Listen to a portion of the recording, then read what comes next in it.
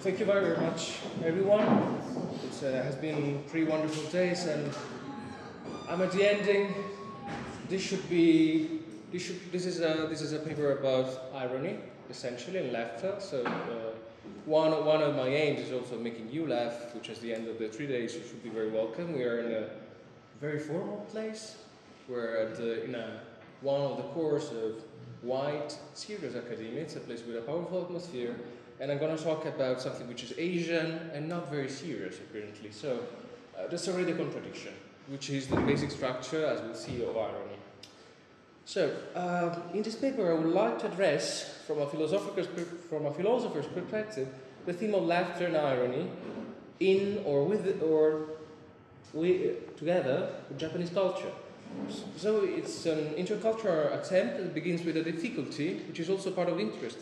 Because irony left, laughter have a minor and yet particular, we could say particularly minor, history in the religious uh, and philosophical thought of Europe.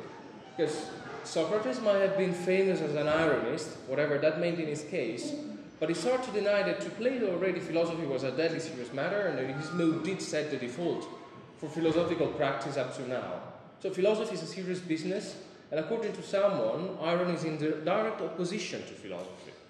So things are not particularly different within religious tradition either, at least in the West, because indeed Semitic monotheism and European Christianity spare little to no attention for laughter, especially as a spiritual phenomenon. And we can, while we can surely name some exceptions in, in, this philosophical canon, so as we'll see, the authors like Vico, Schlegel, Kierkegaard, Le Bergson, Plessner, Rorty, uh, who, who, wrote about irony and laughter, we'll see how relevant their contributions are, but this minority reflects something in Western thought, and my, my suggestion is some, an attitude towards the body, and language in particular, that makes extremely difficult reflecting about or with laughter. Uh, we shall say for now there is something in our laughter that resists theory and categorization. And according to Paul de Man, even saying the concept of irony is ironic. There's no, there's no way to make a concept out of it. Uh, it is not in opposition to philosophy irony is in opposition to philosophy, not by being something alien to it, but as an internal contradiction, a counterforce. So if we look at irony um, and irony in Chinese and Japanese intellectual traditions, however, then the situation is distinctly different. Because even from the outlook, even very superficially, we can think of the laughing madman pressed by Taoist tradition, Zhuangzi, uh, the spiritual foolishness of Chinese poetry, the corpus of Zen anecdotes, the laughing fat face of the Chinese Buddha. Why does, why does Buddha start laughing from India to China? Uh, or even more interesting, the, the things made of a Japanese bodhisattva. Here we get the Bodhisattva Kannon from Nara. So, as Robert Blyth very beautifully say, says, it is possible to read the Bible without a smile and the Quran without a chuckle, no one has died of laughing while reading the Buddhist sutras, but Zen writings abound in anecdotes to stimulate the diaphragm. Something very badly. And it's indeed from a smile, if you want to follow the mythical account uh, about the first patriarch of Zen, Mahakasyapa, that the very tradition of the Zen school is born. And this is obviously a, ficti- uh, a fictitious account, but later is also used and considered as a koan. So let's look at it as it's um, exposed in Mumonkan, once upon a time, when Shakyamuni Buddha was on the Vulture Peak, he twirled a flower in his finger and held it before his congregation. Everyone was silent, and only Mahakashyapa's face broke into a smile. Buddha said, I have the eye of the true teaching, the heart of Nirvana, the formless form, the mysterious gate of Dharma, beyond the words and beyond all teachings to be transmitted, and now pass this on to Mahakashyapa. But what's Mumonkan's comment? So this is usually taken as an account of Ishin Denshin, how Zen is magically not relying on words. Mumonkan is saying something completely different. Golden faced Gautama impudently forced the good people into depravity.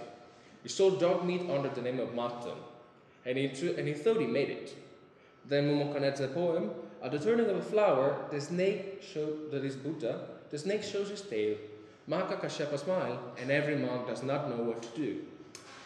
What's happening in this koan the smile of Mahakashyapa is often considered Ishin Denshin, but the mind to mind, but Momok is not all suggesting that laughter is the sign of such a peaceful understanding, because he's calling Buddha a liar, a snake, And he wonders very correctly what would have happened if everyone or none of the monks had laughed before Jester. What happens when a joke fails? No one is laughing.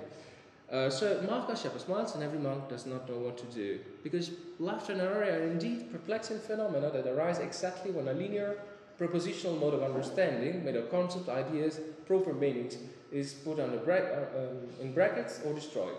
So it's fitting a strange at the same time that is ironic that Zen is at the same time a tradition of rigorous embodied training, wordless meditation, and born from a laughter. Um, a laughter that also has this very dangerous habit of turning what is into what is not. Close to a cheat or a simple lie, Gautama sells dog meat under the name of mutton, says Mumonkan, and he's absolutely understanding what's the problem with irony. Because so maybe we can reach a better grasp of this dual phenomenon, laughter, irony, by rephrasing how in this episode there seem to be an intertwining three themes. This is my suggestion for today. Um, namely, body, language, and negativity or hollowness, or as it will argue eventually, emptiness itself. That is the attempt that I would like to try today in this paper. So I will start with laughter and the body which is the most superficial and visible, and, and also, since we're dealing with contradiction, mind maybe is the deepest. Back to the text of Mumonkan, we see that the decisive moment is described by a four-character expression, hagan misho. So, uh, literally, as we smile or laugh, our face breaks. The normal control we seem to possess on our conscious movement is suspended, and our mouth, lungs, eyes, face muscle, lacrimal ducts start organizing themselves on their own in a different rhythmic movement. Laughter is essentially us being controlled by or existing as such a breathing, as Isaacson said, said yesterday. The, in laughter, we don't, we don't laugh actually. There's a laughter and we exist as it for a little while. It takes a time. So Helmut Plessner, the, the German philosopher and um, philosophical anthropologist, notes, however, that while laughter is not an expression of something, we can, that is, we cannot separate it from a message, from the modes of its happening. This lack of control that does not imply by any means a lessened state of our minds uh, in which we would capitulate as a person. On the contrary, by laughing, or even by the faintest mind, even by the almost completely suppressed laughter that escapes, that is, breaks through eyes and eyebrows in a formal but awkward situation, the regional unity of body mind, of Xinjing, is given in a heightened state. Plessner writes that this organization of the relation between man and his physical existence, existence is not willed, but to be sure, but although it sets in in an overwhelming way, still not merely accepted and endured. On the contrary, it is understood as expressive movement, a significant reaction.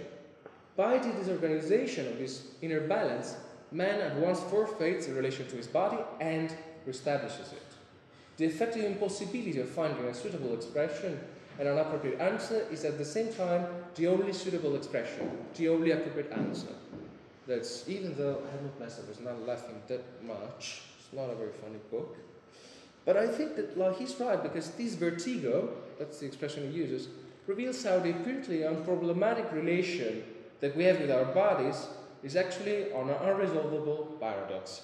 So on one, on one hand, we exist bodily, both space, time, a sphere of meaning and relations constantly arising from this pers- first person or often hidden body experience, Leibniz. But at the same time, we have a body. We have a som- somatic body. We exert our control in it as a physical object among others We define qualities and affordances. This unity is paradoxical and unresolvable. Because resolve, we always live with the within, within the potential of this primitive presence, uh, as by Hermann Schmitz, which is unerasable. But, and Plessner is very absolutely right in that, even a dog or a cat that poses for a second before taking a jump has a sort of understanding, a non-representational understanding of his own body as a somatic thing. It is hard to deny that the attempt to, however, it's hard to deny that this, the attempt to resolve this paradox in most Western thought has been removing the first person body consciousness and reduce the body to the somatic element. This explains the particular difficulty or panic that is faced by Western psyche, which traditionally uh, conceived itself as disembodied, once it's forced to rediscover itself in or as the, syncop- the syncopated breathing of laughter. And it's telling to me how the word spirit, even after thousands of years of intellectual history, have tried to erase its original sense of breath and wind, still obstinately keep a reference to irony and laughter as pulmonary phenomena. Spirit, esprit, just like the Sino-Japanese word furyu, for instance, has a double sense of spiritual and comic.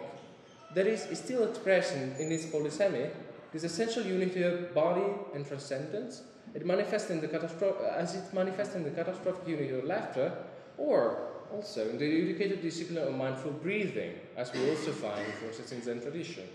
So here we discover something which is pretty ironic by itself, that is the most basic and reviled form of humor, scatology, might be very well the most basic in a phenomenological sense too. That is, toilet humor and sexual laughter are not simply a transgression of social norms about cleanliness and proper behavior, but an anarchic reminder of how the idea of a closed body and independent mind that are reason behind such regulations about sex and proper, proper embodiment is a delusion. So there is something funny about in the body itself, in its spontaneity, openness, frequent insubordination to the control of our conscious selves. And the funniest part of the body is not its positive unity, like if you think of the somatic, the muscular, like we don't laugh before a Greek sculpture, never. Because that is taken as an aesthetic object. But what's funny in the body is its holes mouth and nose, mucus, spit, vomit, food and drinks, genitals, sexual intercourse, pee, assholes, farts, and feces are, together with the pulmonary cavity inhabited by laughter, the places where the body reveals its hollow character, where the strict border between external and internal, body and, body and mind, self and self, are crossed and erased. To quote um, Peter Sloterdijk, the R's crosses all borders playfully, unlike the head, which borders and possession mean a lot, uh, from the um, critic of cynical reason. So the head is flung back on the body exactly because such, this is the Hegassen. This is a series, it's an emaki from um, Edo period, where we can see that like the air is crossing, the asshole is literally crossing borders in this cases. Um, because the head is flung back from the body, exactly because such body has holes. Here are two similar, here I would like to present you two similar poetic examples of such laughter, in which the violent logic of the body is shown in both its comic and tragic characters. Uh, the first one is a old uh, Kyoka by the Renga master Yamazaki Sokan, uh, あくるくるしくも貸し借りけり我が親の死にる時にもへをこきて and the beautiful translation by Gil, Distressing, yes, distressing, and yet it's really a blast, for far to escape you while your dead breath is last. The latter Haikai master Teitoku was horrified by it, saying its, its breach of filial piety was too much even for comic verse. And yet we can argue that while being almost blasphemous, there is something very fitting in showing together the tragedy of, the, of a death, or a father's death, and a fart. Because how low they may be, but they both show how eventually we are our bodies, we are subject through our body and subject to our bodies, equally able to control our last breath and a fart. And that is the tragedy and the comedy of human existence. And irony is the two of them turning into each other in the blink of an eye. Another, basically the same structure, can be seen in another haiku by Akutagawa Ryunosuke, uh, who chose it as a suicide note in 1926 with the Maegaki for with the Maegaki that is a four note Jicho, I laughed at myself. Jicho, 水花やその先にだけくれ残る oh, I laugh at myself. My runny nose just on the tip lingers the very last light. As the mental illness, Akutagawa was one of the first modernist, major modernist writers in Japan, and like he suicided himself in 1926 after like a, a series of crises of mental illness. And uh, since illness has taken its toll, and what's unraveling is psychological unity. And Akutagawa notices, though, how his own body is somehow still there, and the tragic hero of his self narration and self construction is just a little animal, or even not there at all, being a incoherent sum of the temporary embodied regions that, for instance, we, we can call it body islands with Hermann Schmitz. So just the tip of a nose. Choosing a poem to comment his suicide, Akutagawa is also parodying a tradition of Jisei, that poems within Chinese and Japanese, often monks, treat death as the, the, the, the ultimate moment of no self, sometimes with images that were, however, rather serious or even self aggrandizing. So here, irony here is turned to the body and to the self with destructive results. But irony and language, since I started, I started using poems, uh, because the body, or rather the paradoxical unity and separation of body-mind, is the first element we need to understand the Mumonkan koan and laughter at all. But no matter how important the laughable quality of the body and visual elements, caricature, mimicry, pantomime, or even tickle can be, we must also understand irony and laughter in their relationship with language, their existing within and as it. Of course, that relationship, just as the one with the body, is a paradoxical one. And once again, Mumonkan is absolutely on spot, I think, because laughter, in a certain sense, the opposite of language. Everybody's silent, somebody's smiling or laughing, and that's so the very far opposite. But at the same time, language itself, in its condition of possibility, is marked by irony to its very core. If you look at definitions of irony in Europe, we will see that in fact, after being born as a philosophical stance or tool embodied by Socrates, is irony becomes an essentially rhetoric trope. Irony, to Quintilian, is saying what is contrary to what is meant. And later on, the comic plays of Aristophanes, ironia, refer to lying rather than complex dissimulation. Giambattista Vico, an Italian thinker with an extreme attention to language and the relationship between language and thought, uh, according to Jürgen Trabant, an anticipator of the linguistic turn of 19th and 20th century, thinks that tropes themselves constitute an ecology of the human mind through the um, progression of historical development. And irony is the last one. Irony is the trope of modernity, says Vico, in the New Science, because irony certainly could have not begun until the period of reflection, because it is fashion of falsehood by dint of a reflection which wears the mask of truth. So, according to Vico, basically, primitively people couldn't have lied because they were talking with a figurative, poetic language where everything is basically present.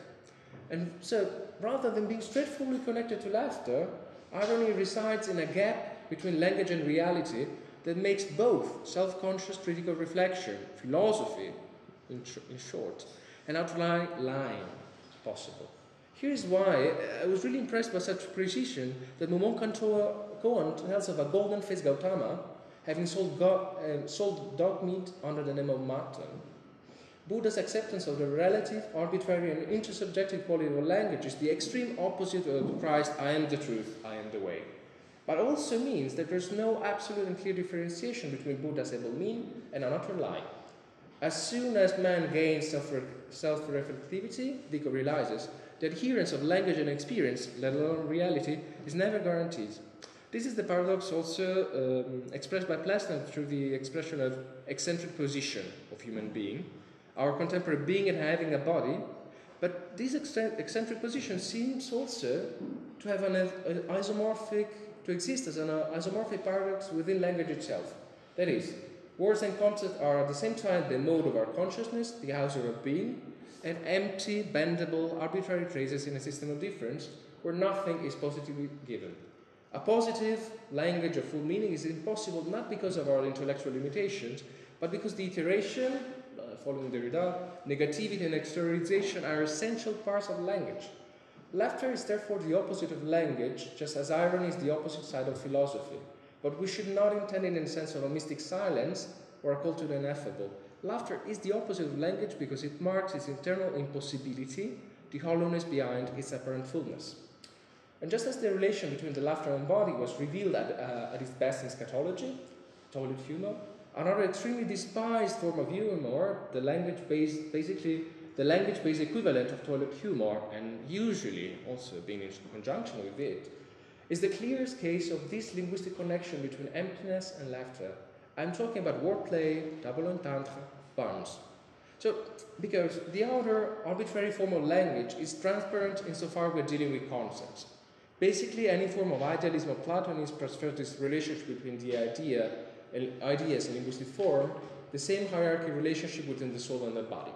But puns, when we are making wordplays or puns, uh, dajare, uh, we suddenly shift this the, the exterior form into the foreground, recognizing how even the most transparent and pure transmission of ideas and thought is undetachable from a net of contingent linguistic forms.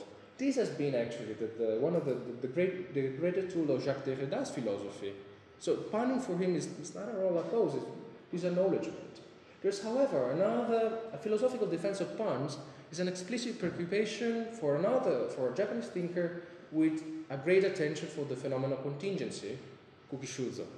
Puns and rhymes are for Kuki a manifestation of contingency within language and ultimately a reminder of the irreducible contingency of, existence, of existence itself. Quoting from uh, his collection of Zuhitsu, the internal life of a person that listens to a pun, ignores it, or raises an eyebrow is incredibly empty. The faintest smile can throw a happy light on our serious, depressing daily existence. One day in Paris, so here we are, Michael Phelps turned towards me and said, Le Japonais, they don't need any cavalry, do they? And I asked him why. He answered, But ils sont des Japonais. They are already ponies.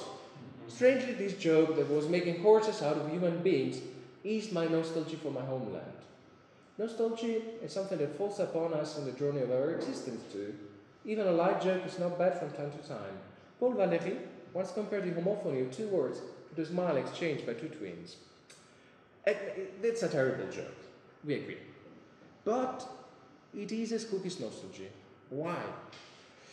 Due to a homophony, a man, who's obviously a man, becomes a pony. The law of identity, according, which, according to which things are themselves and themselves only, is broken. A man, while obviously being still a man, is also a pony who is not. The meeting of being and not being, U and Mu, which has been forcefully ignored or despised by most of the story of Western thought, is what Kuki tried to focus on his, the problem of contingency from 1936. The contingent structure of human existence, too, is such a meeting of being and nothingness. Kuki's nostalgia and loneliness are very concrete examples of this ambivalence. A nostalgic man is at the same time here and not here, living, as a, living painfully the contradiction between his position in space and the equally contingent determination of his birthplace. This is what a ridiculous image of Japanese as a ready pony can, can ease such nostalgia. Showing to Kuki, reminding to Kuki that any kind of identity of being is open to transfiguration to something completely different, in its internal relationship with difference and non-being. So even upon is not at all distant from the apparently higher, noble, romantic irony, where the mind of an artist, according to Solger and Schlegel, the mind of an artist must combine all directions into one synoptic view. We call this view blick, soaring above everything and destroying everything, irony. In turn, Schlegel defines irony as continually fluctuating between self-creation and self-destruction. So irony here is not anymore a rhetorical figure, but a style of existence. And Schlegel calls irony a divine breath. And we see here irony again fluctuating, soaring, breathing, its basic element is really the aerial, something that partly has to do with the semi-real ontology of air, and partly reflects again the fundamental connection of laughter, air, and respiration. Just as we do with our breathing, through the ironic blick, we are constantly going back and forth, outside and inside, being and not being, self and other. Because another Schlegel's discovery was a dialectic unit of contradiction as a condition for both intersubjectivity, both art and thought. So, lastly, Philosophy is the real homeland of irony, not just the opposite of it, which one would like to define as logical beauty. For whenever philosophy appears in oral, written dialogues, and is not simply confined to the rigid system, the irony should be asked for and provided. Because the last condition of irony is our togetherness. Even if I laugh alone or hurt myself, I always include potential others in my laughter. Now, we're completely different from sadness or joy. Um, laughter arises at the paradoxical unity of I and Thou. And again, we can see the structure of laughter in another famous poem of Zen tradition from the Blue, Blue Cliff Records. Kyozan Ejaku asked Sansho Enen, What's your name? Sansho said, Ejaku. Ejaku, replied Kyozan, That's my name. Well then, said Sansho, My name is Enen. And Kyozan roared with laughter. Nishitani Keiji, uh, here, here I end, Nishitani Keiji said the I and Thou relationship in Zen Buddhist thinks that this laughter is indeed the place of a fundamental meeting, where the two men lose their individuality, again, it was the effect of laughter, according to Plessner, without simply vanishing, again, following Plessner. Uh, to quote Nishitani, in this place of laughter, the reality of the encounter between one man and another may be transformed as it is into a super reality. Such superreality corresponds to a non-substantial relationality that Nishitani himself, following Mahayana and Zen tradition in particular, calls emptiness, shunyata. My conclusion is in fact exactly this one. And we can understand both laughter and irony as forms of embodied, interpersonal, and linguistic but non propositional comprehension of the, of the fundamental interpretation of phenomena that the Mahayana Buddhist tradition has called emptiness. This is why irony seems to be everywhere and why it escapes a positive definition or conceptualization.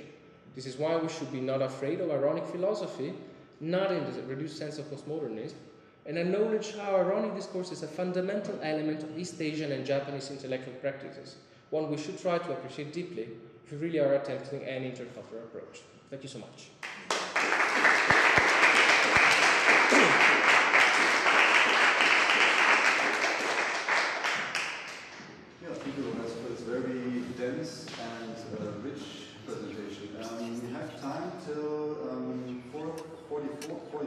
so we have five minutes left. So if you have questions, comments, maybe we can have some few questions.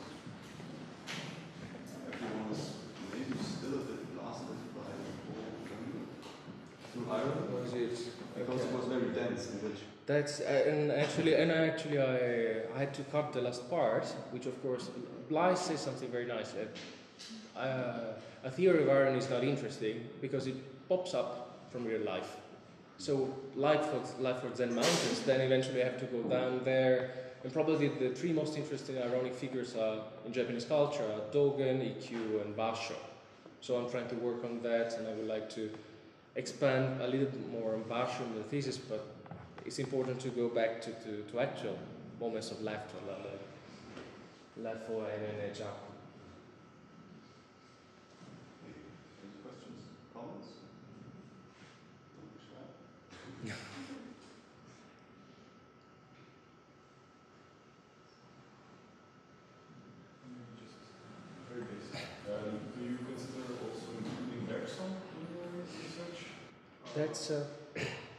of course he's one of the he's one of the first named names to pop up. Also, he's uh, being well read in Japan, in Japan too. Uh, the thing with Bergson, his his theory of laughter is very vitalistic. So uh, actually, Plessner is rereading Bergson like with this skin because, for instance, uh, Bergson laughter is never is never really uh, it's not it's never really linguistic. It's not taking account this all sort of irony on like the, the sort of tragic irony too, but to um, to Plessner like the embodied. When he said that mechanical, actually Plessner is saying uh, yes. In that in that case, we are laughing because there's a we feel a gap between form and function of the body, and I think it's uh, again Plessner is very technical and it's a it's a strange book about laughter and absolutely serious and hard to read. But I think he's taking account of Bergson and giving a very deep reading, which makes more sense than actually Bergson does alone. Because otherwise, it's, a, it's not explain everything. It's a very specific, specific perspective, which also, however, seems to be uh, always the case. There's no way to give a positive and complete account of phenomena as laughter and irony and maybe because they're really because they're a manifestation of the whole world. So they're always relational and uh, contextual. There's, there's no one way to give one rule and then cover every, every possible case.